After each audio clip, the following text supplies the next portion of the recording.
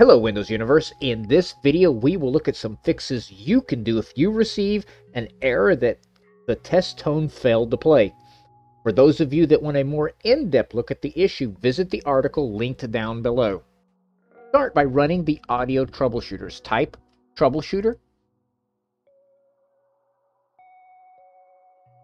Go to additional troubleshooters. Look for playing the audio troubleshooter and click on Run.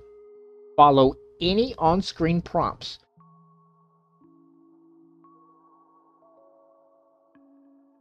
If the troubleshooter can identify and fix the problem, it will.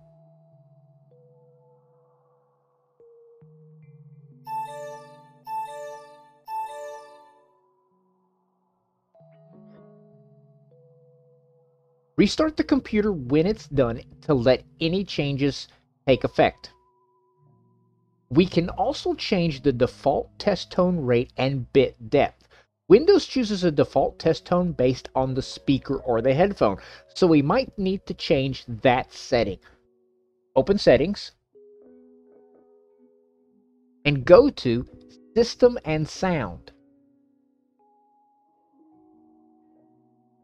Look at the right side and find Device Properties. Then click on Additional Device Properties. Go to Advanced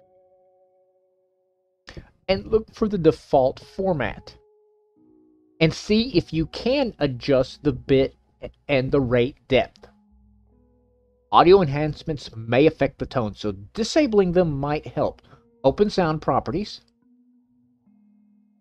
Click on Sounds, go to Playback, then click on Properties, go to Enhancements, and click on Disable All Enhancements. Click on Apply, click OK, check and see if it works now. Let's look at restarting the Windows audio related services. Open the Services Manager. We are looking for Windows Audio, Windows Audio, and Windows Audio Endpoint Builder.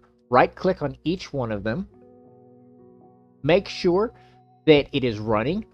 Make sure it is set to automatic. If not, change it to automatic and press start.